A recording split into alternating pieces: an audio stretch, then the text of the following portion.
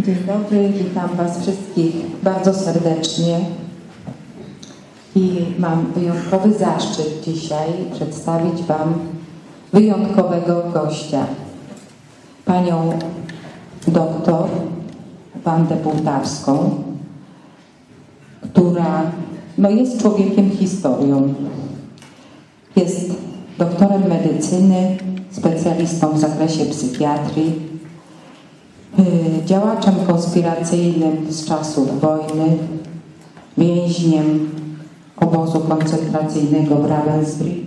Bardzo się cieszę, że w dniu dzisiejszym będzie mogła tutaj do Was powiedzieć o swoim życiu, ale przede wszystkim o wartościach, jakie przyświecały jej, ludziom w czasie wojny, papieżowi i dać wskazówkę Wam, które wartości w życiu są ważne i którymi warto się kierować.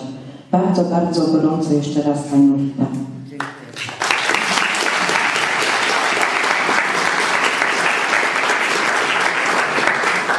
No to właściwie co chcecie ode mnie?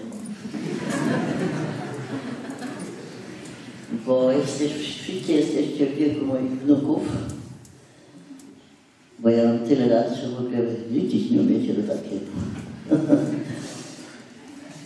Co ja mogę pokazać młodym ludziom? Przede wszystkim powiem Wam, że lubi Was szkoła. Bo macie gorsze warunki młodości niż ja. A wiecie dlaczego? Bo jak ja byłam dzieckiem i młodzieńcem, młodzie- nie młodzieńcem, a dziewczyną, to nie było telewizji. Nikt nas nie truł niczym, tylko młodzież sama organizowała. W szkole mieliśmy wszystkie możliwe kluby. I było od fotografii, od teatru, i od literatury, i od języków, i od wycieczek. Wszystko sama młodzież. Był samorząd i było samo wychowanie we wspaniałej drużynie harcerskiej. A teraz tego nie ma. I wobec tego trzeba się wami zająć. Kto może się zająć młodzieżą? Na moją rolę młodzież wymaga pomocy. Miałam w Lubinie takie spotkanie z Wicą, ale tylko ze starszymi klasami. Po paru godzinach spotkania chłopak, który organizował, powiedział, Pani doktor, bo my się nie umiemy bronić. Przed czym? Przed światem. Ten świat, ja jestem z tego samego pokolenia, co Ojciec Święty. Święty to jest pokolenie, które żyło w tych czasach zmian, prawda, od, od czasach tego prądu elektrycznego do dzisiaj, co olbrzymia różnica. Otóż Ojciec Święty ten aktualny stan nazwał cywilizacją nienawiści i śmierci. I chciał, żeby młodzi, wy, zmienili tę cywilizację na cywilizację miłości i życia. Co to znaczy cywilizacja śmierci? Dla naszego życia właśnie wartość życia ludzkiego zmalała przez to, że były kataklizmy, gdzie II wojna światowa zmiotła miliony ludzi. I do nas wtedy przemawiały wartości, o których wy niewiele wiecie. Kiedy wybuchła II wojna światowa? No co nagle nie wiecie? Nie, Mikusi. Żadne dziecko nie wie? No No, mówcie, no, Karina bo wstyd Pichelka. po prostu. Piotrek, 1930 Wojna wybuchła 1 września w 1939 roku. Ja byłam wtedy w klasie licealnej pierwszej. Były reformy liceum miało tylko dwa lata, a przedtem w szkole byłam w ogóle 10 lat. Otóż już w listopadzie ja wtedy wówczas mieszkałam w Lublinie, ja jestem z Lublina, urodziłam się tam. Już w listopadzie harcerki z drużyny mojej, moja drużyna miała za patrona Orlęta Lwowskie. Wiecie coś o Orlętach Lwowskich? No, to do lekcji historii trzeba wrócić, ale ale był taki czas, że dzieci były zaangażowane w obronę wręcz fizyczną. Do broni stawały dzieci bronić ojczyznę. Otóż w tym listopadzie 39 ja sama i moje koleżanki na auli takiej, innej, ale podobnej do tej, składałyśmy wielką przysięgę na sztandar, że, że jesteśmy gotowe umrzeć za ojczyznę. Wielkie słowa, nie? Aż umrzeć za ojczyznę jednak. To było założenie konspiracyjnego Związku Walki Zbrojnej. To się nazywało ZWZ. Związek Walki Zbrojnej. Potem przeszło w czarne szeregi AK. Przez czas, wiadomo, wojna trwała i okupacja trwała. Ale wtedy już ja miałam świadomość, że przystępuję do walki o to, co jest cenniejsze niż życie ludzkie. Potem po latach papież Jan Paweł II na zaspie Gdańsku powie każdy musi mieć swoje Westerplatte. Co to jest Westerplatte? To ten przyczółek, który się do końca bronił i żołnierze i oficerowie byli gotowi na śmierć w obronie ojczyzny. Czyli Westerplatte to jest symbol wartości ponadmaterialnych. Ojciec Święty mówi do młodzieży, nie samym chlebem człowiek żyje. Człowiek nie może żyć bez uniesień. Co to znaczy uniesienie? Uniesienie to jest przeżycie duchowe. Podniecenie to jest życie cielesne. Wy umiecie przeżywać podniecenia z różnych przyczyn, z różnych powodów. Natomiast on chciał pokazać, że człowiek nie jest materialny. Człowiek ma materialne ciało, ale jest duchem. Całe nauczanie Karola Wojtui, biskupa krakowskiego, a potem Jana Pawła II do tego zmierzało, żeby ludzie odkryli swoją tożsamość, tożsamość człowieka stworzonego. Podsumował całą swoją działalność jako filozof i kapłan pod koniec życia jednym zdaniem. Powiedział, wszystkie problemy Twoje indywidualne, Twojej rodziny, parafii, narodu, ludzkości rozwiązuje genealogia divina. Cóż to jest po łacinie? Nie wiem, szkoła łacinie? Mamy. To oznacza Boże powodzenie. I teraz Was, niech każdy z Was siebie zapyta, czy rzeczywiście jesteście przekonani, że każdy z Was, każda z Was i wszyscy obecni to są stworzenia, czyli dzieła Boże. Wcale tak nie myślicie, ponieważ panuje w tej cywilizacji biologizm i ludzie są przekonani, że dziecko to są tylko komórka ojca i matki i koniec. Nie, to nie tak. Rodzice nie mają mocy dawania życia. Rodzice służą życiu, który daje Stwórca. Ale żeby myśleć o Stwórcy, trzeba wiedzieć, że On jest. Czyli pierwszy punkt, na ile wy tu w Rywanowie wierzycie, że jest Bóg. I jaki? Hasła są różne. Mówi się o Bogu miłosierdzia. Ktoś może raz był w Bagiewnikach, w Krakowie, u siostry Faustyny, może go nie wie. Jest hasło ostatniej pielgrzymki Ojca Świętego do Polski. Bóg jest miłością. Natomiast zapomina się, że Bóg jest kreatorem, stworzycielem. I wobec tego każdy z Was, każdy człowiek ma zawsze przez całe życie i całą wieczność relację, stworzenie do Stwórcy. Jaka to relacja? Relacja zależności to stwórca decyduje, że tu, w tym miejscu się rodzisz, w tym dniu i on odwoła cię z tego miejsca w dniu niewiadomym. Słuchajcie, nic o was ale wiem jedno, że wszyscy to obecni na pewno. I myśl o śmierci jest myślą twórczą zmusza do refleksji, mam czas ograniczony. Tę myśl dla mnie była taka, jak wy w takim wieku, tę myśl dla mnie wlał mi do głowy właśnie okres okupacji, ponieważ myśmy wciąż w czasie wojny widzieli śmierć, a potem jak dostał wyrok śmierci od Niemców. I pozornie oni chcieli nas zniszczyć, a naprawdę ta myśl jest uratowaniem sensu życia. I muszę wam powiedzieć, jak wyszłam z tego latu w maju 1945 roku do tak zwanych ludzi świata, to myślałem sobie, co ci ludzie myślą? Oni nie myślą. Oni w ogóle nie rozumieją, że muszą użyć. Gonią za czymś, co jest nic nie warte. Otóż to, co jest warte tak, żeby warto było dlatego i żyć, i umrzeć.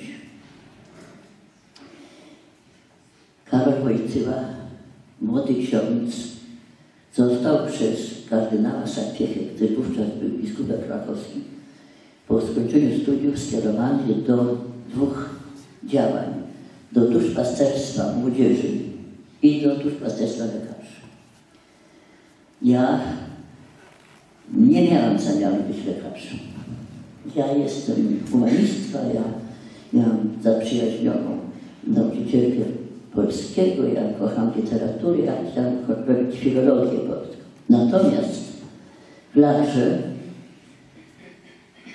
obóz kontemplacyjny miał na celu wyniszczenie, to się nazywało po niemiecku Inachtu Nebo, nie wrócić.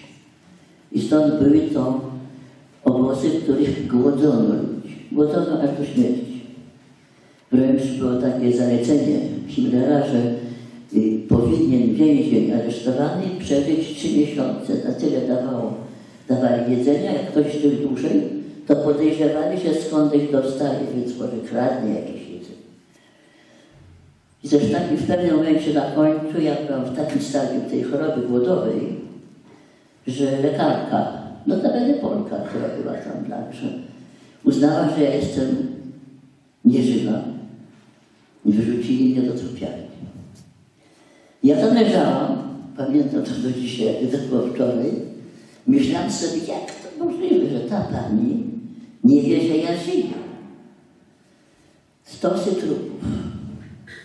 Koło mnie leżała drobna, mała cyganeczka, którą ja czułam, że ona jest zimna. Więc ja musiałam być cieplejsza, ale nie mogłam dać znaku życia. I wtedy postanowiłam, jeżeli ja wyjdę, to było paradoksem, bo ja umierałam, a planowałam, że pójdę na medycynę, żeby sprawdzić, czy jest możliwe, że lekarz nie wie, że pacjent żyje, wrzuca go do trupiarni, a pacjent żyje. I muszę wam powiedzieć, że miałam satysfakcję kolosalną parę lat później, kiedy byłam lekarzem. I w Warszawie było zebranie lekarzy byłych więźniów i ja spotkałam tę panią, która szczęście też przeżyła, która mnie wyrzuciła do trupiarni. No ale była miłosierna, nie przyznałam się, że to jak to ta dziewczyna wyrzucona. W każdym razie tak się złożyło, że zobaczyłam, że w tych czasach takich drastycznych filologia, z filologią niewiele bym ludziom mogła pomóc, a medycyna jednak. I stąd ta decyzja. Ale wobec tego, że mnie interesowało to, kim jest człowiek, to wybrałam z medycyny psychiatrię i równocześnie studiowałam też psychologię, żeby wiedzieć, kim jest człowiek, dlaczego. Dlatego, że jak mnie aresztowano, to ja byłam, wiecie co byłam? Byłam zdziwiona. Bo ja przedtem nie wiedziałam, że mogą być ludzie źli. Taką miałam młodość, że mnie kochali w domu i w szkole i w drużynie harcerskiej. I dopiero to, co widziałam gestapo, w więzieniu, potem w Lancze, pokazało mi, że ludzie mogą być okrutni. Może być okrutna męskość i okrutna kobiecość. I byłam tym zadziwiona. I patrzyłam, jak to jest możliwe. I mam, i zresztą mam w oczach, i zresztą pisałam potem, bo ja jak wyszłam z lagu, zapisałam wspomnienia z tego okresu, tych czterech lat. Mam taką scenę w oczach. Mianowicie tam w tym lagrze pilnowały nas kobiety. Kobiety augsjaki tak zwane, czyli młode dziewczyny w partii. To jest trudno oceniać naród niemiecki. To była ta partia, która była, to jest część jakaś tego narodu. Młode kobiety, które się okazywały okrutne. I ponieważ była sztabaga sobie stare i młode, i obóz był międzynarodowy, ten obóz to kilkadziesiąt różnych narodów. Polek tam było około 40 tysięcy, wróciło mniej więcej 7, coś koło tego. I otóż była taka scena, ponieważ tam był system liczenia tych więźniów. I stały szeregami kobiety. I w pewnym etapie, kiedy zbudowano krematorium, te młode kobiety z, obo- z tych więźniów, więźniarek, z szeregu wyciągały siwe stare kobiety.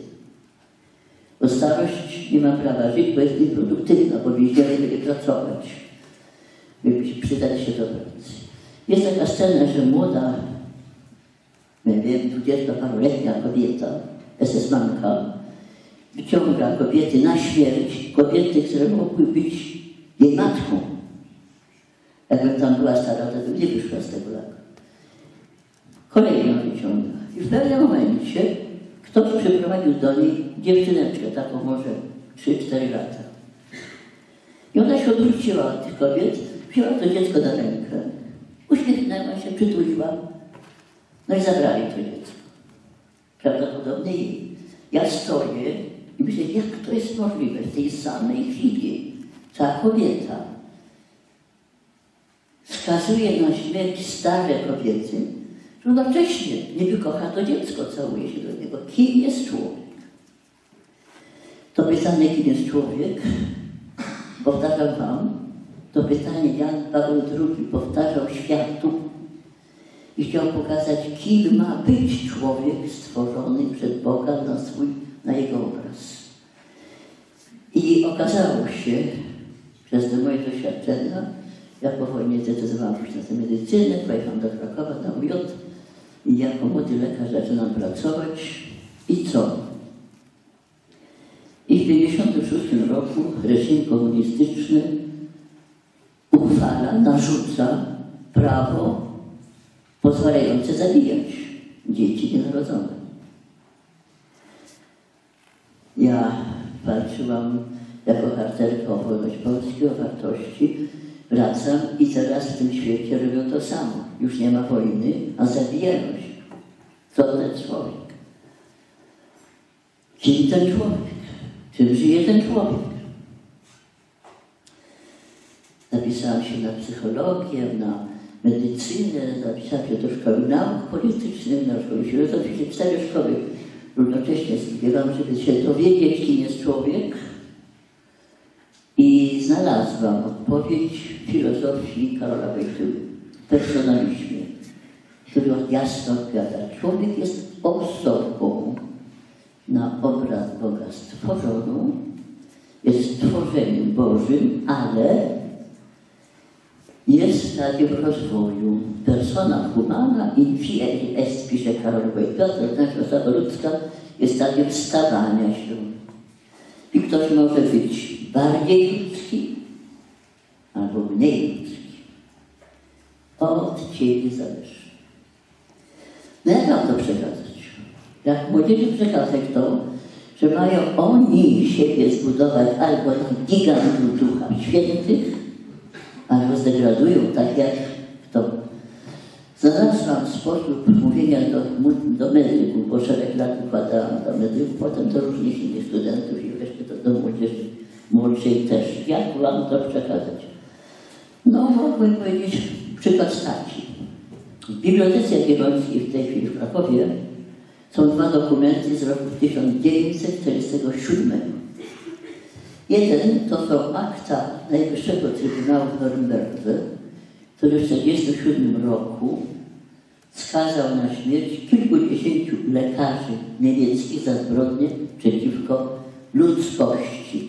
Wśród tych skazanych jest pan Karl Gebhardt, profesor, który spowodował, że te dziewczynki, które harcerki, które składały przysięgę, że chroniły za ojczyznę, skazane na śmierć w Ravensbrück, dał, oddał do dyspozycji swojego przyjaciela, profesora Karola Gebharda i dokonano tam egzekucji, tylko operacji doświadczalnych, w czasie których część operowanych zmarła.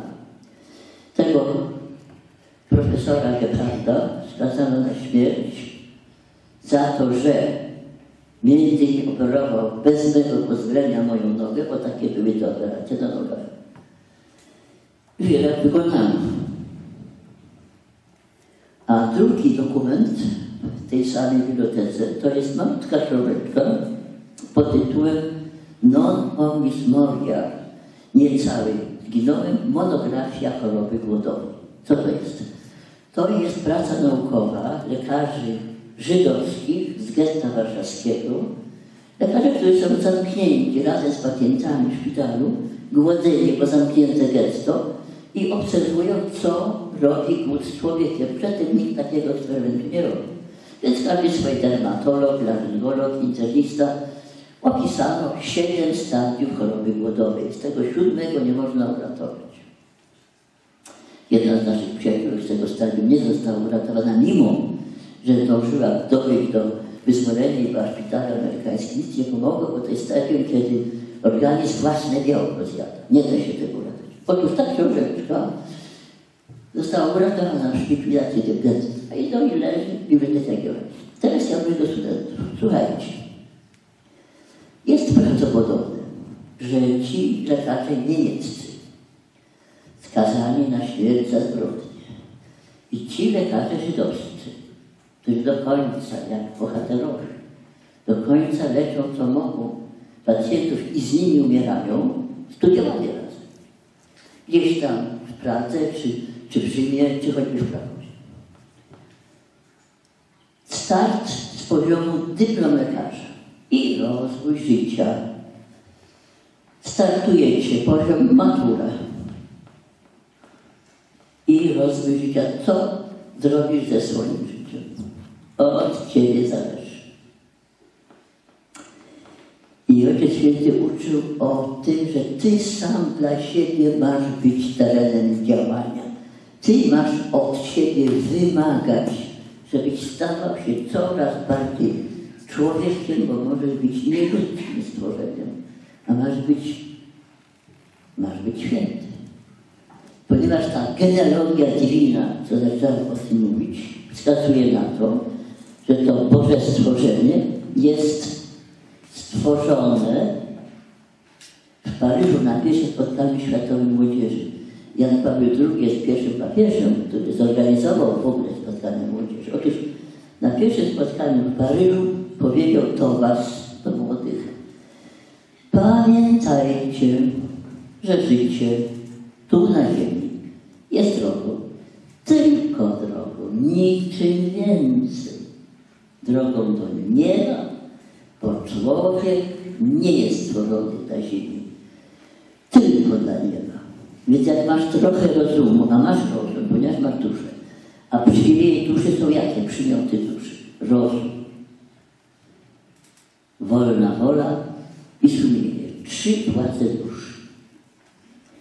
Więc rozum ci powinien podyktować, że jeżeli jest tak, że po śmierci są dwie alternatywy, albo piekło, no to zdrowe rozsądki nakazać wybieram niebo, nie?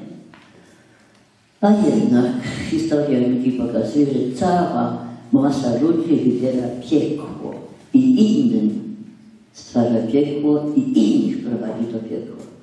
Uczy Karol Wojtyła o odpowiedzialności za swój los, nie tylko za życie, za los i za wieczność i za wszystkich, którymi się spotkasz. Ponieważ każde spotkanie jest jakimś zadaniem. Co przekazałeś spotkaniu drugiej osobie? Wiecie, co on sobie powiedział? O sobie powiedział, dużo później że przed każdą rozmową, zanim ją podejmie, najpierw modli się do Ducha Świętego, o światło, o dary Ducha Świętego. Ja przedwczoraj byłam w szkole i zapytałam młodzież liceum, jakie są dary Ducha Świętego. Okazało się, że nie wiedzą. Nie chcę was kompromitować i was pytać. Ale są dary Ducha Świętego i on o sobie powiedział, Jan Paweł II, i dawno do mnie powiedział, 50 lat temu, a potem też napisał, że jak mu matka umarła, to był chłopczykiem, prawda, przed pierwszą komunią świętą, tam ośmioletni, to mu tatuś palcem książeczce do nabożeństwa pokazał sekwencję do Ducha Świętego. Przyjdź Duchu Święty, ta modlitwa, którą się odmawia w czasie zesłania Ducha Świętego, Zielone Świątki. I on mówi, ja od tamtego dnia do dzisiaj codziennie tę modlitwę mówię. Więc miał wszystkie dary Ducha Świętego. Geniusz intelektualny i święty. Podprowadzał młodzież do tego, że żeby stworzyć z siebie człowieka doskonałego, potrzeba Ducha Świętego. A masz być doskonały dlaczego? No bo doskonałość to jest świętość, a śmierć cię doprowadzić ma do wieczności i jak masz rozum, to chciej, żeby to była wieczność szczęśliwa. Nie wiem, tylko niebo. Nie wahał się zarówno Karol Wojtyła, jak potem papież mówić jasno, twardo, wyraźnie o diable, który cię kusi. Mówił, pamiętajcie, że diabeł był przed człowiekiem i miał gotowy plan niszczenia ludzkości jako dzieła Bożego i ten plan realizuje. Jak realizuje? Na różne sposoby, bo diabeł jest istotą inteligentną, inteligencją wyższą od człowieka. Człowiek sam nie może z diabłem zwyciężyć, musi mieć Ducha Świętego do pomocy. Ale jeżeli cokolwiek wiecie o Księdze Rodzaju w Piśmie Świętym, to trzeba sobie przypomnieć, że sekwencja była taka. Najpierw tworzył Stwórca świat aniołów, duchy bezdzielestwa. Coś o nich wiemy. Wiemy o, było niedawno święto życia. Przyszedł Michał, Archanioł, a Gabriel do Maryi z Nazaretu. Imiona. Gabriel, Rafael, Michał. Serafini, cherubini byli stworzeni dla chwały Boga, nie śpiewać one, być posłuszni Bogu. No i jest ta scena opisana, prawda, że anioł się buduje. I w ten sposób od razu świat duchowy zostaje podzielony. Od razu jest walka dobra ze złem. Walka, która była, jest i będzie. Tak długo, jak twórca zechce. Ale człowiek został stworzony wtedy, kiedy świat duchowy już był podzielony. Kiedy człowiek znalazł się w sytuacji, kiedy są duchy dobre, anioły z Bogiem i duchy strącone do piekła z Luciferem. Jesteście wszyscy na terenie walki dobra ze złem. Z tym, że gdzie ta walka się ma odbywać? To nie jest walka między ludźmi, między osobami. To jest walka w każdym człowieku. Dlaczego? Dlatego, że teren duszy ludzkiej też jest terenem podzielonym z powodu grzechu. Pierwszy grzech nieposłuszeństwa aniołów spowodował piekło, a potem grzech Adama i Ewy spowodował, spowodował defekt ludzkości, grzech pierworodny. I człowiek jest podległy temu, co może mu proponować diabeł tak, jak podległa Ewa. Bo Adam, Adam nie był kuszony przez diabła. To jest ciekawe, ale tak wyglądało na to, że Adam, człowiek posłuszny Bogu, krążył tam po tym raju i diabeł go nie ruszał. Myślę, że nie spodziewał się, że on mu ulegnie. Natomiast diabeł trafił do Adama przez Ewę. I ta sekwencja powtarza się przez historię. Nie można nie zauważyć, że w tym etapie Ewa, kobieta, była narzędziem ręku szatana. I ich grzech, tych dwojga rodziców spowodował, że wszyscy mają defekt grzechu pierworodnego i dlatego Ojciec Święty uczy, tę niewinność, którą miał Adam i Ewa przed grzechem, on to nazywa pierwotną niewinnością, masz odzyskać. Nie jest ci dana. Dane ci za darmo to, że jesteś, a więc egzystencja, czyli dusza, że masz ciało, że masz życie tego ciała, kształt tego ciała, męskość, taką kobiecość i jeszcze skutek płciowości, możliwość rodzicielstwa. To wszystko jest dane za darmo. Natomiast wieczność jest za darmo. Świętość jest za darmo. I dlatego do młodzieży wciąż Ojciec Święty mówi, co oni mają czynić, dlaczego. Dlatego, że filozof Karol Wojtyła w swojej książce Osoba i czyn pisze o tym, kim jest człowiek i jaki ma być. Dlatego, że taki się stajesz, jak Twoje czyny.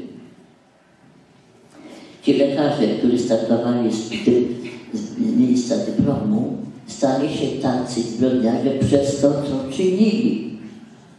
A ci lekarze żydowscy stali świętymi przez to, co czynili. I dlatego zajmował się wami, ponieważ czyny młodości mogą przeszkodzić świętości, jeżeli nie są posterowane przez wybory prawidłowe. Ojciec Święty uczy, masz wybierać jak rozumnie i w sumieniu dobrze uformowanym. Okres młodości to jest jeszcze sumienie nieuformowane i was trzeba formować z tym, że nie może was uformować mama i tata, pani nauczyciel, pani nauczycielka. O ile wy nie weźmiecie w siebie tego, co oni proponują. Czyli ostatecznie człowiek sam decyduje, co przyjął od ludzi dorosłych, którzy są modelami. Każdy musi mieć swojego mistrza. I oskarżali dziennikarzy Jana Pawła II za dużo tych procesów ratyfikacji, kanonizacji pełnoty świętych. Dlaczego? A on chciał pokazywać wzorce. Pokazywał ojca Kolby, który oddał życie dla ratowania drugiego człowieka. Pokazywał dla was w Tarnowie. Ratyfikował dziewuszkę 17-letnią Karolynkę No po co? Czy pokazać wartość dziedzictwa? Że dziewczyna wolała śmierć niż stracić dziedzictwo. Wartość przez was niezrozumiała. Mówię, dlaczego? No bo ją niszczą dorośli, którzy wam pokazują modele. Pierwsza żona, druga żona, trzecia żona, jedna kochanka, druga kochanka, trzecia. Świat zanurzony w nieprawidłowym zrozumieniu celów człowieka ginie i maszeruje prosto do piekła. A Karol Wojtyła, ksiądz, kochał wszystkich ludzi. Naprawdę. Bez wyjątku. Chciał pomóc im wszystkim, żeby poszli do nieba. Robił wszystko, żeby ludziom pokazać sens życia ludzkiego i cel życia ludzkiego. Cel jest niebo. No tak, ale dlaczego młodzi ludzie nie chcą nieba? Wcale nie myślą. Ale na przeszkodzie stoi, wiecie co? Stoi wielki dar Boży, wolna wola. Nieprawidłowe rozumienie wolności, dlatego Ojciec Święty uczy, co to jest wolność. I może choć to jedno, definicję wolności, potrafię Wam wsadzić do Waszego ucha i serca. Bo to jest warunek Waszego życia. Bo musicie zrozumieć, co on pisze, że wolność to nie jest niezależność. Zupełnie przeciwnie, to jest zależność od siebie samego i przyjętego systemu wartości. Co to znaczy? To znaczy, że ty, klasa naturalna to jest? Tak. Chcecie dać maturę? Tak. Wobec tego nie możecie tylko się cały dzień bawić piłką, tylko musicie wpływać, co kto wybrał matematykę, fizykę, matematykę, wszyscy. No ale Czyli musicie swoją swobodę działania podporządkować wyborowi tego, coście wygrali. Chcę być i chcę oddać maturę. Czyli docelowe ograniczenie wolności ludzkiej. Do celów pośrednich dziecko z klasy do klasy chce zdać. Chce zdobyć sprawności, chce umie na. Musi coś ograniczyć, żeby zrobić to, to sam zdecydował. Więc ty sam ograniczasz swoją wolność, a drugi element, system wartości. Jesteście wszyscy ochrzczeni prawdopodobnie. Polska jest narodem ochrzczonym od tysiącleci. Większość bierzmowana. Czyli przyjęliście jako system wartości etykę Kościoła katolickiego. Co to znaczy etyka Kościoła katolickiego? To jest bardzo proste. To jest tylko 10 przykazań. I słuchajcie, nie bez powodu Jan Paweł II podczas ostatniej pielgrzymi do Polski co zrobił? Przypomniał narodowi, że jest 10 przykazań. Każdy mieście inne przykazanie. To jest system wartości, który wiąże waszą wolność. Wam nie wolno kraść, nie wolno cudzołożyć, nie wolno zabijać. I macie na pierwszym planie postawić Boga. Pierwsze trzy przykazania odnoszą się do Boga. Robicie to? Akurat. Więc wszyscy grzeszyli. Nie ma ludzi bezgrzesznych. Święci to nie są ludzie bezgrzeszni. Bezgrzeszna to Matka Boska. Wszyscy mają swoje grzechy, dlatego potrzebują pomocy i oczyszczenia. Słuchajcie, na naszych oczach, naszego pokolenia świat się zepsuł i zniszczył wartości takie, jak wierna miłość, jak szczęśliwe małżeństwo, jak szczęśliwa śmierć. Jak ja byłam młoda, to w Polsce i w Europie nie było prawa do rozwodu. A tu na pewno są dzieci, których rodzice są rozwiedzeni. Byłam w szkole dwa dni temu w Brzezinach. Pani dyrektor powiedziała, pani doktor, mam 50% młodzieży z rozbitych domów. 50%. Dlaczego mnie was szkoda? Otóż jest problem wierności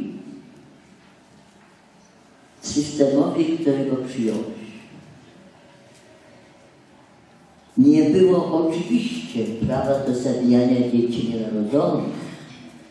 I gdy w 1956 roku komuniści to narzucili, to ojciec święty był wstrząśnięty, tym młody ksiądz, ja też.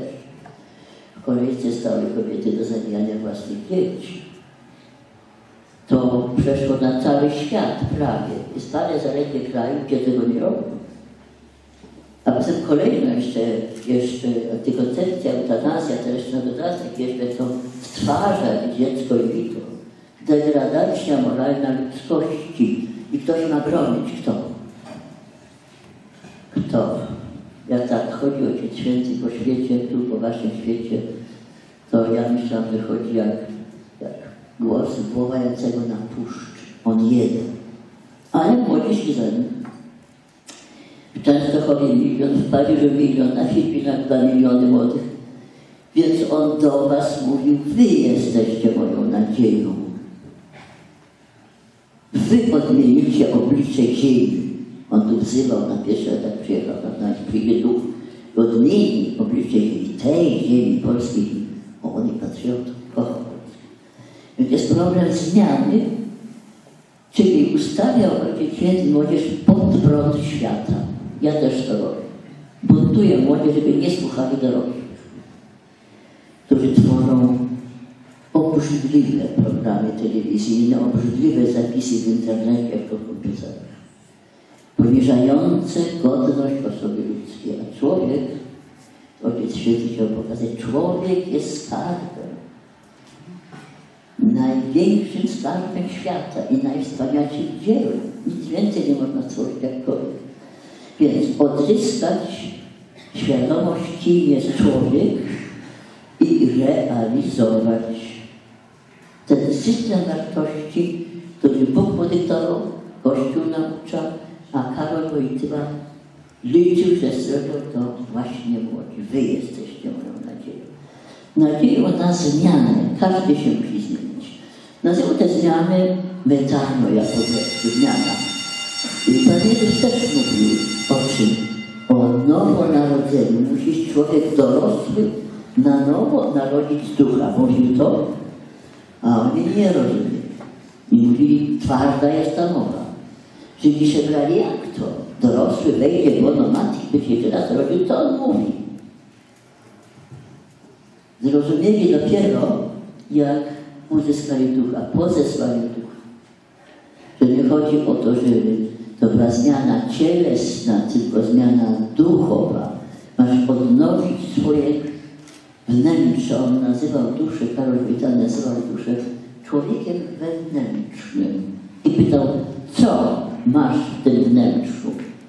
I mówił duc i altum, czyli zejdź w głąb tego człowieka wewnętrznego, zatrzymaj się, zastanów się, kim ty jesteś, co tam masz. A tam masz to, co wkładasz przez czyny. Patrzysz się na tę pornografię, masz w tym wnętrzu brzydkie obrazki. Mówisz żargonem, masz tam brzydkie słowa. Uderzyłeś kogoś, masz tam brzydkie czyny. Grzeszne czyny, zbrodnicze czyny. To wszystko jest w Tobie. Ale nie jest Tobą. To są tylko Twoje czyny, lecz zmień. Kiedyś mój przyjaciel, już nieżyjący ksiądz Tadeusz Fedorowicz, ja miałem takie szczęście, że jak z naradu, to spotkałem księdza, który uczył szyderki. To był mój przyjaciel całego życia, mój spowiednik, który mówił tak, człowiek jest, wyobraź sobie, to tak jak kosz, pełen śmieci, ale możesz śmieci wyrzucić, stawić kwiaty to samo miejsce. Już będzie coś zupełnie innego. Masz w sobie mnóstwo niepotrzebnych śmieci i więcej. Masz może wstrętne rzeczy. Wyrzuć. Już co innego. Od Ciebie zależy. Ale oczyścić wnętrza czasem nie potrafisz. I dlatego jest Boże miłosierdzie, które daje szansę człowiekowi, który dostaje sakrament kapłaństwa, daje dar grzechów odpuszczenia. Słuchajcie, jak został biskup krakowski papieżem, to zaraz na początku zorganizował spotkanie wszystkich biskupów na temat rodziny. Bo chciał bronić zagrożonej rodziny, bo na jego oczach ta rodzina się rozpadała. Dzieci cierpiały. Czy ja się przez całe 60 lat zajmuję dziećmi z marginesu.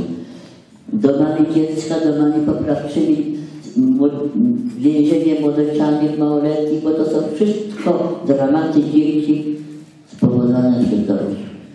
No i był miesiąc, ja brałam na tym synodzie jako biegły. Przez miesiąc wszyscy biskupi świata rozważali, jak ratować tę wartość miłości rodzinnej, wierności rodzinnej, trwałości rodzinnej.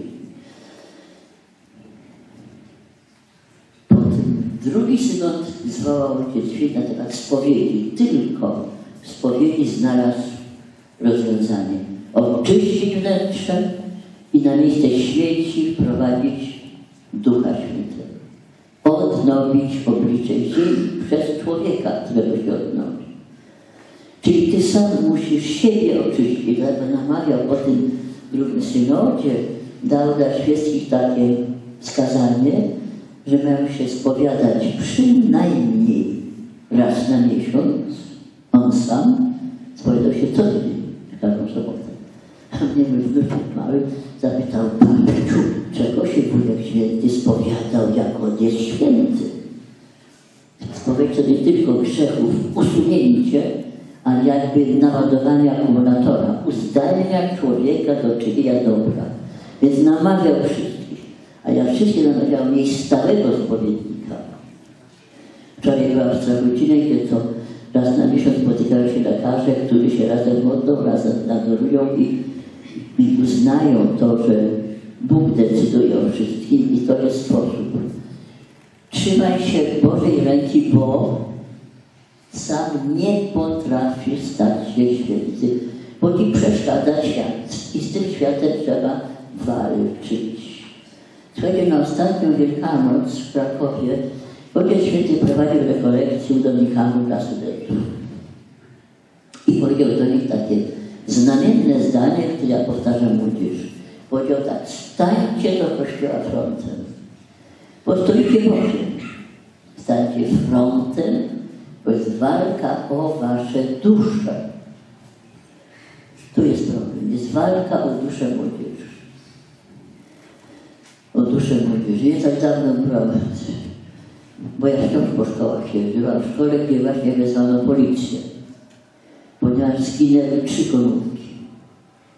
Na znaleźli się złodzieje w szkole. Dusza młodzieży skażona kłamstwem, złodziejstwem, niemoralnością, bezwstydem. Szereg, szereg, szereg oskarżeń pod adresem młodzieży. To są słuszne oskarżenia. Młodzież nie jest święta. I dlatego ma dążyć do świętości. Nie jest święta, ma być święta. Ale musi sobie taki program życia założyć i w trosce o to dążenie do świętości Jan Paweł II pod koniec życia napisał, nie dosłownie pod koniec, ale blisko końca, napisał encyklikę, encyklikę pod tytułem Nowo Millennium in Evoluce, to znaczy nowe tysiąclecie już rozpoczęte, już jest. I mówi o programie dla wszystkich ludzi jednakowe, świadome dążenie do świętości. Dziecko, młody, stary, biały, czarny, żółty, wszyscy ludzie na świecie mają dojść do świętości i wtedy dopiero świat będzie zanurzony w szczęściu, bo Pan Bóg stworzył ludzi nie dla dramatów, dla szczęścia. Więc próbuj zobaczyć swoje miejsce, ale jak to realizować tę świętość? Daje? Ojciec Święty był realistą, wobec tego mistyk. Mistyk to jest ten, który realnie obserwuje Bogiem na ziemi. Otóż realistą wobec tego daje, można powiedzieć, receptę, mianowicie zapamiętajcie. Pierwsza, pierwsze zadanie, najważniejsze, to jest uznać radykalizm wiary. Co to znaczy? To znaczy na serio przyjąć dziesięć przykazań. Jak nie zabijać, to nie zabijać. Nigdy nikogo. Radykalne poglądy nie uznają kompromisu. To jest tak czarne, białe, nie ma nic szarego. Młodzież rozumie to, młodzież jest często radykalna, tylko chodzi o to, że radykalna w czynach, a nie w sądach. Bo łatwo kogoś radykalnie potępić, to nie o to chodzi. Ponieważ musi być drugi element, realizm wiary. Masz radykalne poglądy, a jak twoje życie wygląda? Jesteś katolik, chodzisz do kościoła, chodzisz w niedzielę, tak? Chodzisz? A jak chodzisz? Policzyli w Polsce nie tak dawno, jednego dnia w jedną niedzielę księża we wszystkich kościołach Polski, ile osób uczestniczyło w niedzielę we mszy świętej z katolików, nie w ogóle ludzi, katolików. Wypadło średnio na Polski 35%. Tu na wschodzie był w lepszej sytuacji, na zachodzie zaledwie 20%, w sumie wypadło 30%. Co to znaczy? To znaczy, że 65% katolików lekceważy podstawowe wymagania przykazań Bożych. To znaczy, że 65% Polaków w poniedziałek to jest armia satana. W stanie grzechu śmiertelnego. To nic dziwnego, że ten światem gdzieś tu się kłócą, tu się go rządzi Polską diabeł. Konkretnie. Też ludzie bezmyślnie wyparli Ducha Świętego, bo też padał, bo się skończyłem, nie poszedłem do kościoła w niedzielę. Drobna ofiara dla Boga, jedne 40 minut raz na tydzień ludzie. Zastanówcie się. Księga Ojciec Święty wydał piękny dokument o świętości Dnia Świętego Niedzieli. A jedziesz w niedzielę po tych handlowych wielkich sklepach, wszędzie pełno ludzi kupują. Wieki całe nikt nie kupował w niedzielę. I nikomu nie było potrzebne kupowanie w niedzielę. I nagle wszyscy niedzielę. Diabeł podsunął, schwytał ich do ręki, już ma ich w ręku. Diabeł zwyciężył przez to, że w niego nie wierzą. I dlatego to nie jest, proszę pamiętać, to nie jest laleczka, kukiełka, która z widełkami na jasełka goni. To jest potężna siła, przed którą trzeba się bronić. Bronić się człowiek sam, to drugi go może ochraniać, a jedyną bronią jest modlitwa i Karol Wojtyła mówi, ludzie sobie nie zdają sprawy, jak potężną bronią jest modlitwa. Więc muszą być dwa elementy. Radykalizm wiary i realizm wiary. Jak jesteś katolik, to cię obowiązują wszystkie 10 przykazań, a nie jedno. O Polakach mówią, ja jestem w Komisji Papieskiej do spraw rodziny, jestem w Komisji Międzynarodowej, a gdy mi prowidza spotykam się z innymi narodami, opinia o Polakach jest taka, że katolik, katolicyzm polski jest powierzchowny i à la carte. To znaczy, tak jak idzie do restauracji, jest pełno menu, pełno różnych potraw, jedną wybierasz. Mam 10 przykazań, jedną, no nikogo nie zabisz. To nie wystarczy. Ma być realizacja, co więcej, w tym samym dokumencie. Na dodatek Ojciec Święty chce coś, co ja uważam, że specjalnie jest ważne dla młodzieży. Dla młodzieży dzisiejszej. Mianowicie on chce, żeby ten program Dążenia Świętości świadomie był realizowany z entuzjazmem. A co ja słyszę od młodzieży? Eee, mi się nie opłaca. A co mi to da? A ile ja zarobię? Młodzież jest zmaterializowana. Od dorosłych chce kasy. Powstało nowe słowo, nie było w mojej młodości, sponsor. Ktoś ma darmo ci dać pieniądze. Dlaczego? Nie wiem czego. A, bo ja chcę. Mam prawo, jestem młody, mam prawo się rozwijać. No tak, tak. Ja dostałam niespodziewanie bardzo młoda drużynową harcerską, bo moja drużyna nagle miała problem, ojciec ciężko zachorował. Ja mm, prowadziłam tę drużynę wtedy, kiedy akurat się ukazały pierwsze, zgrabne bardzo, chińskie namioty z podłogą. Leciutkie, dobre do noszenia i drogie. No i myśmy zastanawiały się we wrześniu, postanowiliśmy sobie zbierać przez rok pieniądze, żeby na wakacje mieć taki namiot za- zastępny. Słuchajcie, dziewczynki 12-13-letnie potrafili przez ten rok zarobić własnymi rękami. Nie tylko na jeden, a na dwa namioty. A dzisiaj, jak ja słyszę młodzieńców 25 lat, on potrzebuje sponsora, bo chce sobie się zapisać do tej specjalnej szkoły marketingu, która kosztuje 1000 dolarów miesięcznie i on potrzebuje. Masz ręce, masz oczy, masz zdrowie, masz mózg, intelekt. Wymyśl, jak można i co można zrobić. Co można zrobić? Młodość powinna być okresem twórczym. Twórczym, a równocześnie entuzjastycznie działający, bo młodość ma siły. Młodość, młodzieńcze siły się nie powtórzą. Życie się wydłuża, ludzkie życie, ale wydłuża się starością. Te 10 lat młodości się nigdy nie powtórzy. A młody potrafi być rzeczy, ja dzisiaj patrzę na miejsca studii, się jeździłam na nartach, to mi się w głowie mąci, że ja potrafiłam tam zjeżdżać. Zaraz bym tam nie wlazła dzisiaj. A widzę, jak ta młodzież tam oczywiście jeździ. Macie siły, macie możliwości, tylko wam się nie chce wysilać, ponieważ jest kult wygodnictwa. Słuchajcie, raz byłam naprawdę załamana, to mi się nie zdarza, ale raz mi się zdarzyło. Ja byłam radnym do miasta Krakowa dwóch kadencjach, były takie dwa etaty, trzy etaty bezpartyjne. Otóż byłam na Komisji do Spraw Młodzieży i w pewnym momencie, pod koniec listopada, prawie już na początku grudnia, okazało się, że z budżetu miasto chce nam dać pewną kwotę, ale chcemy ją zaraz rozplanować na tym. No i to po naradzie, bo byłam ja, jeszcze dwóch lekarzy, bo to chodziło o zdrowie młodzieży. Ustaliliśmy, że tych pieniędzy wystarczy na dwa tygodnie kursu narciarskich dla 30 osób. I ogłaszamy konkurs. Potrzeba za dwa dni, teraz zaraz, 30 nazwisk chłopców, którzy pojadą na dwa tygodnie do Doliny Chochołowskiej za darmo. Dostaną sprzęt, za drogę wszystko za darmo i załamałam się, bo się nie znalazło 30 chłopców. Rozmawiam z tym, e, może będzie zimno. Przeznaczyliśmy te pieniądze na co innego, a ja się, co to za chłopaki rosną? Co to za mięczaci jakieś? I tak jest. Są wygodnie siedzieć w hotelu.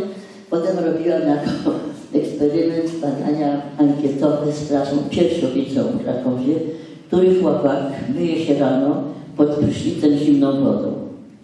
Wiecie ile wyszło? Pół Chłopaki w ogóle boją się zimnej wody. Co to za młodzież męska? A notabene organizm męski potrzebuje zimna i przegrzane narządy męskie są, nie potrafią produkować, może być bezpłodność chłopaków, którzy się przegrzewali. To na nie nosi jako. Więc jest problem wizji, jak ja chcę żyć i co chcę osiągnąć. Co wy chcecie osiągnąć? No tak. A jeszcze jak mamy o Ojcu Świętym, który tu te wszystkie nasze góry zdał na pamięć. Czerwony szlak od Krynicy do Komańczy, boczne, zielone i niebieskie, wszystkie, wszystko to. I wiecie coś wtedy, co myśmy robili? A co do dzisiaj? Chodziliśmy po lesie i zbieraliśmy śmieci. Ponieważ on nie wytrzymywał tego, że w lesie rzucono butelkę. Ja też nie. On umarł, a ja chodzę. I miałam, powiem wam, mało zawału nie dostałam pewnego razu, dwa lata temu, tak.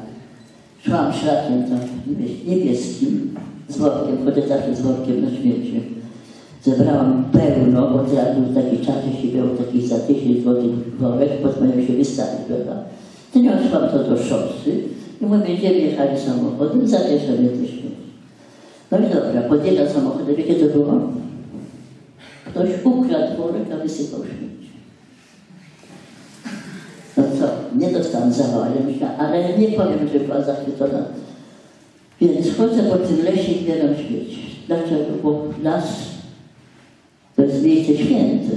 Pan Bóg stworzył las. Podjeżdżają ludzie samochodami, a ja widzę, co jest w najbliższym kiosku, to młodzież kupuje, potem opakowania znajduje w lesie. A on kochał Polskę. Mało tego. Mówił ojczyzna, matka nasza. Matka ukochana. To z was myśli ojczyzna, matka. Ogóle co o matce myślicie, bo jeszcze jest czwarte przykazanie. Jak się traktuje rodziców. Uczył młodzież. Cześć to jest więcej niż kochać.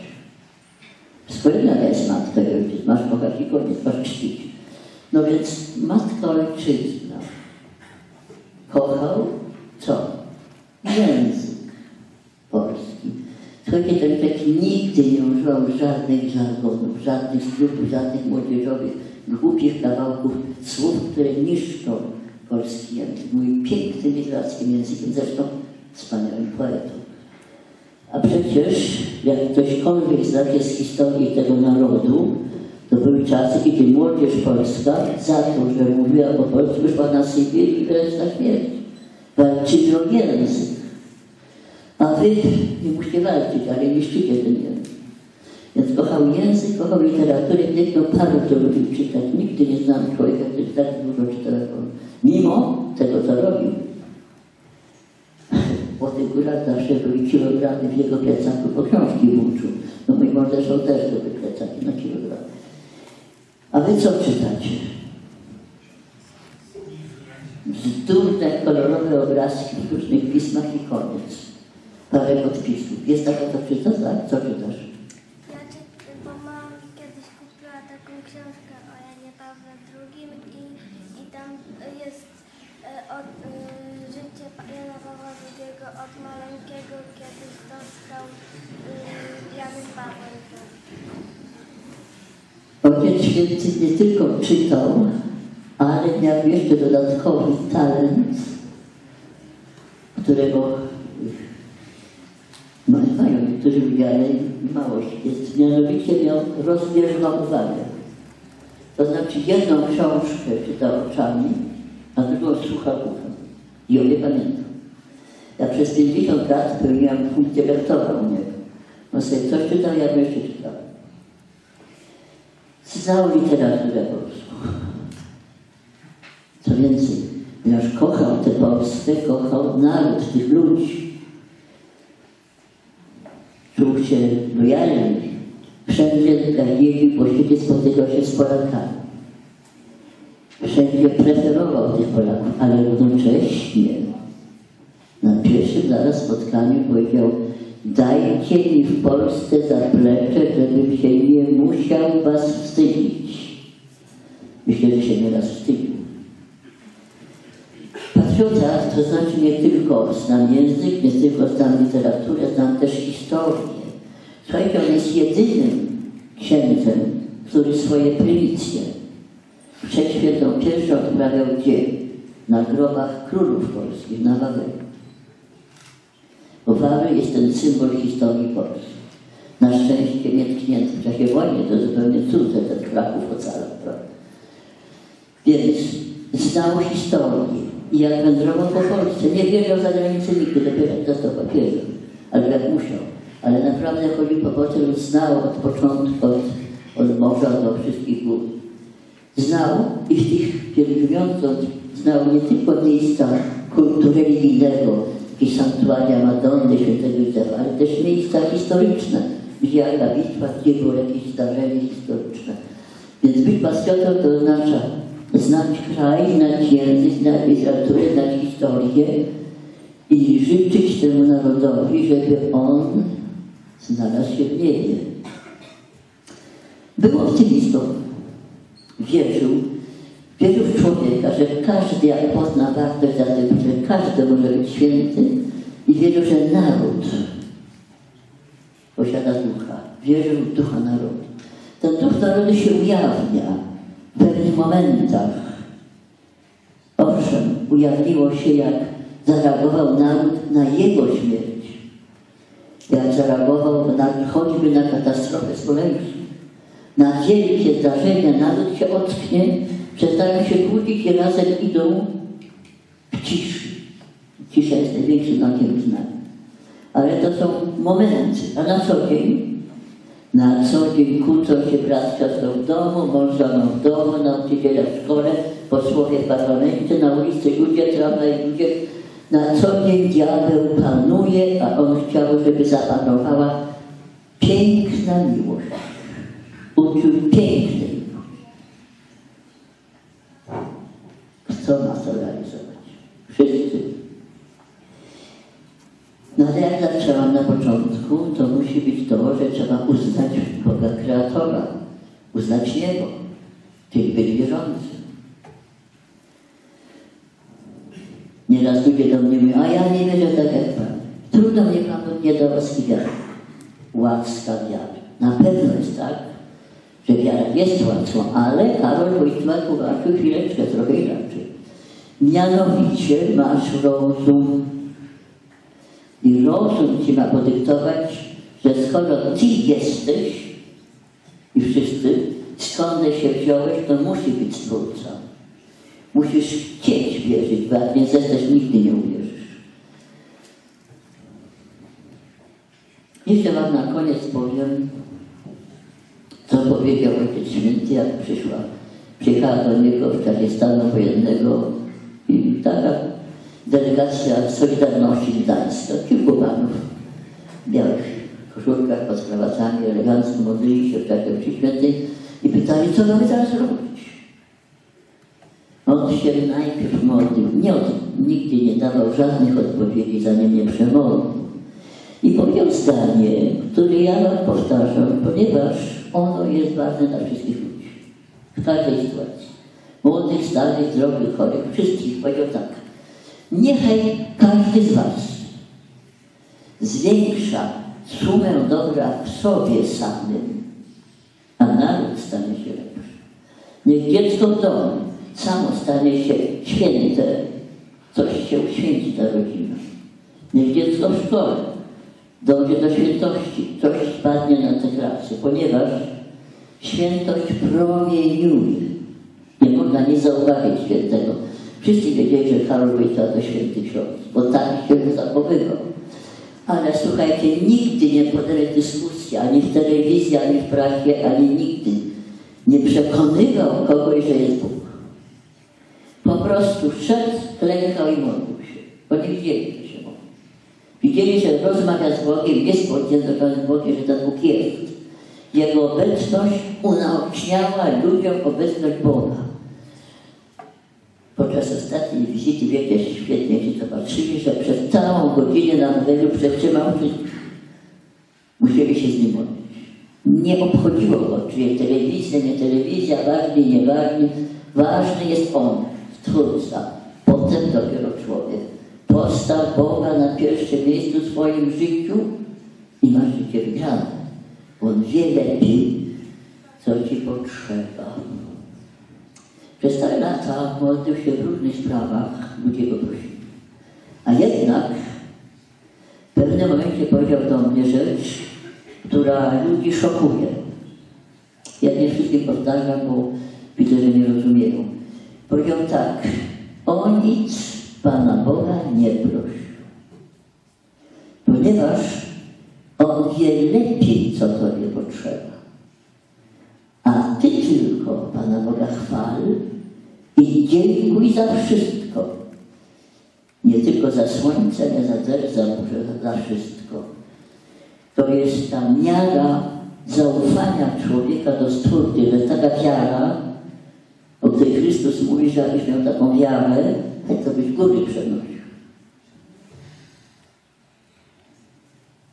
Dziękuj. Modlitw proszalnych pełno. Ja dostaję góry listów, na to już nie nadążam odpisywać, chociaż odpisuję normalnie, jak jestem w domu, 10 dziennie odpisuję, więcej nie, nie mogę, bo mi no nie zabrakuje czasu. Ludzie proszą, proszą, proszą, a jak Pan Bóg nie robi tego, co proszą, to się obrażają. Albo mówią, nie ma Pana.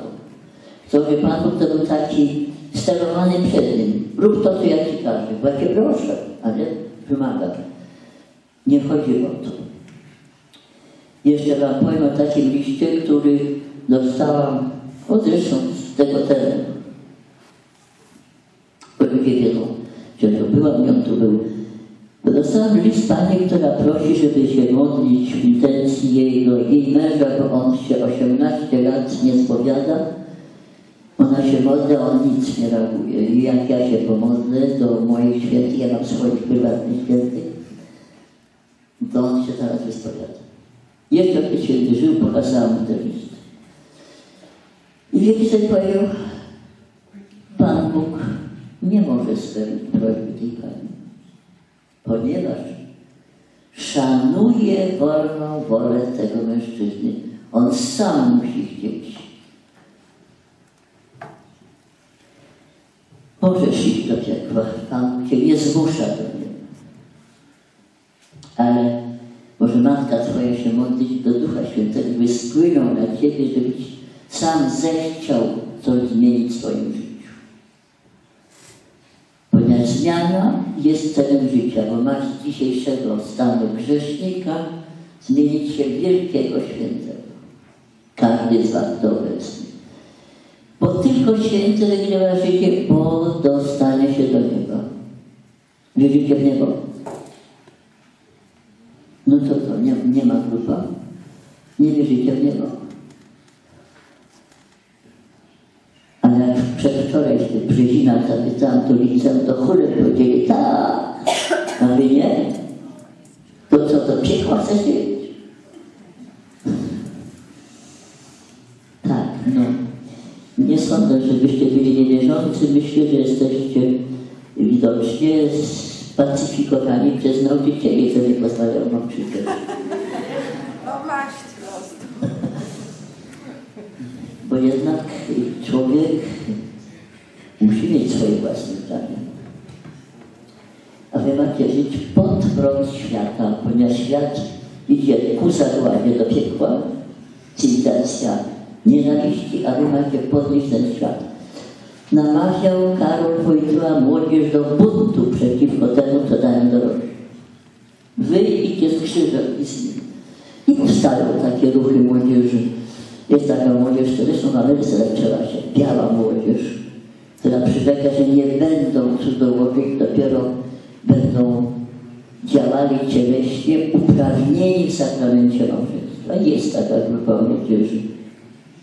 Przeciwstawia się tej, która się bawi w zabawy seksualne. A ja potem, ja się 60 lat zajmuję losem matki samotnej. Nieszczęsnej dziewczyny, która zniszczyła sobie swoje dziewictwo, swoją młodość i los dziecka. Zawsze były takie. Ale 40 lat temu były 20-letnie, a teraz w Polsce najmłodsze matki, wiecie ile mają lat? 13. dwunastoletnia. Ratować świętość młodości chciał Karol Wojtyła, ja też. Ja się spotykam bez końca z młodzieżą. Ja mam taką teraz takie życie, że codziennie jestem w innej szkole, w innym mieście. Ratować młodość, ponieważ od tego, co teraz robisz, zależy całe Twoje życie i zależy Twoja wieczność. Ponieważ pójdą czyny za Tobą na sąd i napisał Karol, nie Karol, przepraszam, Jan Paweł II w liście do rodzin, czyny Wasze Was sądzić będą. Nie Pan Bóg, tylko Wasze czyny będzie czysta sprawiedliwość, żadnego miłosierdzia nie ma. Co zarobisz, to masz. No jest spowiedź, tak, i grzechy Ci ksiądz, nie ma księdza Gazajacy, no ale grzechy Ci ksiądz odpuści. Tylko, że pamiętajcie, zapamiętajcie, kapłan nie ma mocy odpuszczania skutków grzechu. To sam grzech, a skutki spadają na człowieka, na zawsze. Dziewczyna, która straciła dziewictwo, nigdy nie odzyska. Przypadkiem ci młodzi zarażą się chorobą, są choroby związane, weneryczne związane z działaniem cielesnym, grzech zostanie odpuszczony, choroba zostanie, może być śmiertelna taka jakaś. Myślcie nie o czynach tylko, ale o skutkach tych, żeby każdy czyn ma jakiś skutek, który spada nieraz na szereg pokory. Więc uczył Jan Paweł II młodzież odpowiedzialności. Macie być odpowiedzialni za waszą młodość. Musicie. Nawet jak nie chcecie, to i tak jesteście odpowiedzialni, bo wszystko to będziecie na was spadnie, na wasze głowy. Ale wygrywa ten, który steruje swoim działaniem. Celowo kierując je do nieba. Skarbcie sobie skarby w niebie, a nie w banku. Bank zbankrutuje i do nieba się idzie nago, bez niczego. Zero. A ludzie zabijają się za materią. Biedni. Była ta Ewangelia o tym bogaczu i władcarzu żebraku. Po śmierci ten bogacz prosił tego Łazarza, żeby mu chociaż zbliżył ten koniec języka, prawda? A on nie może przejść z nieba do piekła, nie ma przejścia. I potem jest już za późno. Więc trzeba myśleć dzisiaj o tym, że mam umrzeć i znaleźć się w niebie, bo to dzisiaj decyduje o tym, co będzie jutro. Młodość jest zadaniem. Zadaniem. To, że Krzyś powiedziała, dzięki, jesteście tak cichutko, że aż mi to jest podejrzane. To zresztą dobrze świadczy, natomiast zawsze jest to, że potem się dziwią. No kiedyś tak pan dyrektor mówi, jak pani to zrobiła, że tak cicho się dzieje? Nie wiem, na przykład był koło mnie, pan widział, jak to zrobiło. To nie ja, to Duch Święty tu jest. Duch jest. W tym cykliku Rzymskim ostatnia poezja Ojca Świętego to mówi, żyjemy w duchu Bogu zanurzeni. Żyjemy i umieramy tu. Bo Bóg jest tu. I pełno aniołów i pełno diabłów. Ojciec Święty Osoby w Watykanie mówi, diabeł krąży. No i co zrobił?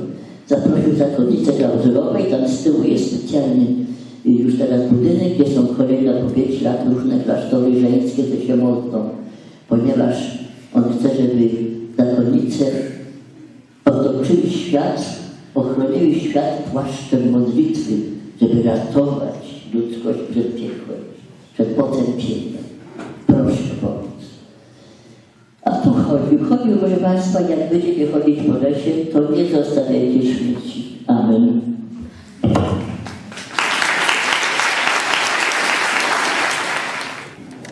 Mam nadzieję, że gdzieś tam w sercach, w umysłach zapadły słowa naszego dzisiejszego gościa, że zmuszą Was one do refleksji i przełożą się na Wasze życie.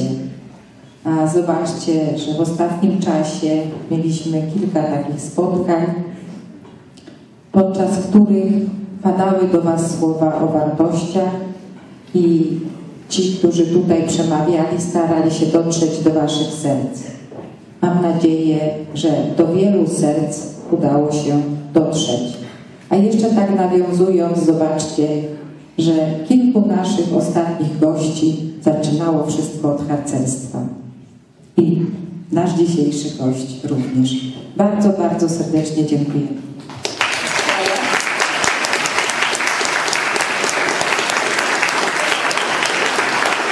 A ja chcę, a małą, konkretną wycieczkę. A przejdźcie się Doliną Wisłoka i pozbierajcie śmieci. Postaramy się to zrobić na Dzień Ziemi.